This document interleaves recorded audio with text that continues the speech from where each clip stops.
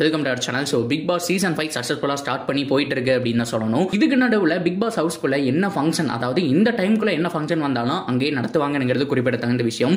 So வந்துட்டு இப்போ festival இல்லையா? அதாவது வந்துட்டு சரஸ்வதி பூஜை ஆயுத பூஜை நடக்க போகுது. ஸோ அதையும் அவங்க ஃபங்க்ஷன் மாதிரி உள்ள நடத்த போகிறாங்க ஸோ வந்துட்டு யார் யாரெல்லாம் வர போகிறாங்க போன டைம்லாம் கெஸ்ட் வந்திருந்தாங்க அப்படிங்கிற விஷயம் நமக்கு தெரியும்.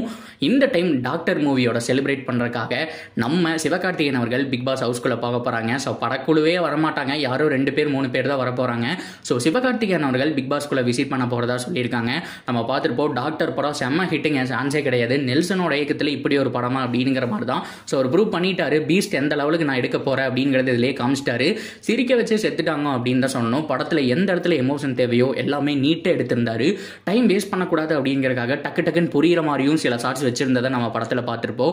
ஸோ ஃபுல் அண்ட் ஃபுல்லாக அந்த படம் காமெடியாகவும் போயிருந்துச்சு. தேவையான இடத்துல எமோஷனும் வச்சிருந்தாங்க. ஸோ ஒரு சீனெல்லாம் சான்ஸே கிடையாது. அனிருத்தோட மியூசிக்கும் நல்லா இருந்துச்சு.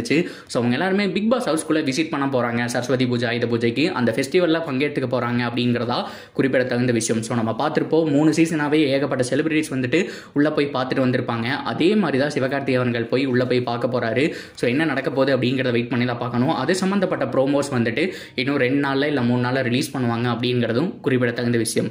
ஸோ தட்ஸ் வீடியோ கைஸ் இதை பற்றின உங்களுடைய கருத்துக்கள் என்ன அப்படிங்கிறத சொல்லுங்கள் எத்தனை பேர் பிக் பாஸ் வாட்ச் பண்ணிட்டு இருக்கீங்க? டாக்டர் படமும் பார்த்துட்டீங்க அப்படிங்கிறதையும் கமெண்ட் செக்ஷனில் சொல்லுங்கள் தொடர்ந்து அப்டேட்டுக்கு நம்ம சேனலோட இணைஞ்சிருங்க. சப்ஸ்கிரைப் பண்ணி சப்போர்ட் பண்ணுங்கள்